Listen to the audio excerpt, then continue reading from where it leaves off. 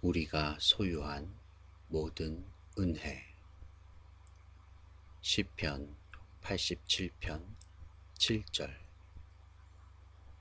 나의 모든 근원이 내게 있다 하리로다.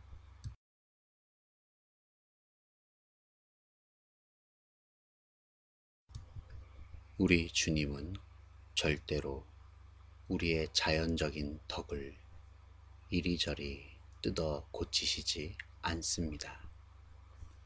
주님은 우리의 내면에서 전인적인 새 사람을 만드십니다.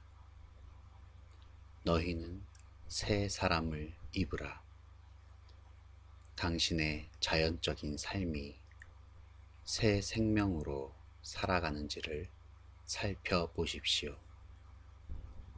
하나님께서 우리 안에 심겨주신 새 생명은 그 자체의 덕을 개발합니다.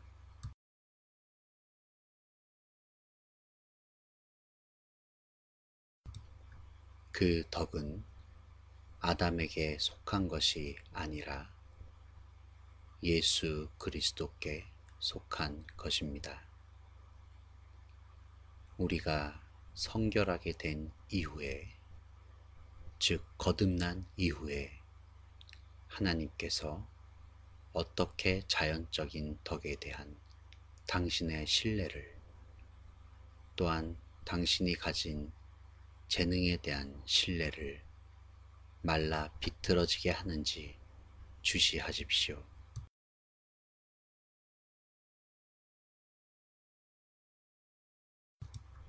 마침내 당신은 예수님의 부활 생명의 저수지로부터 당신의 삶을 길어오는 법을 배우게 될 것입니다. 자연적인 것들을 향한 당신의 신뢰가 말라 비틀어지는 경험을 하고 있다면 하나님께 감사하십시오.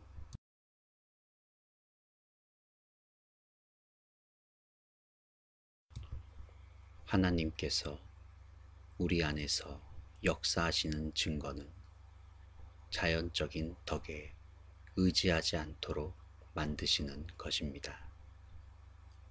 자연적인 덕들은 타락한 인간들에게 남아있는 덕들이지 우리가 추구하는 약속들이 아닙니다.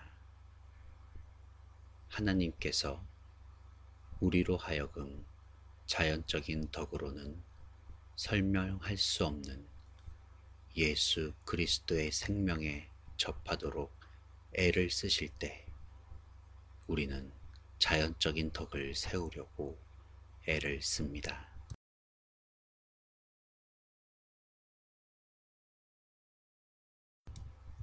가장 슬픈 현상은 하나님을 섬기는 자들이 하나님의 은혜를 의지하기보다 선천적으로 물려받은 것들을 의지한다는 점입니다.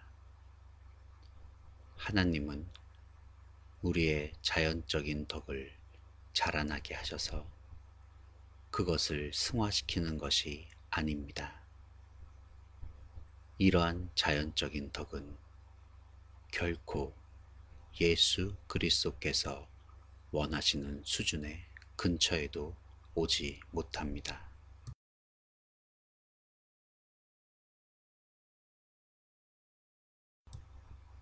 자연적인 사랑, 자연적인 인내, 자연적인 순수함은 주님의 요구에 결코 이를 수 없습니다.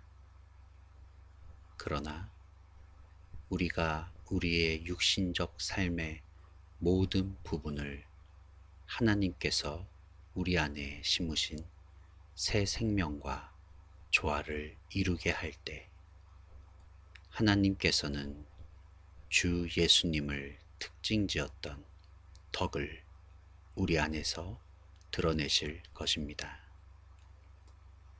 우리가 소유한 모든 덕들은 오직 주님께 속한 것입니다.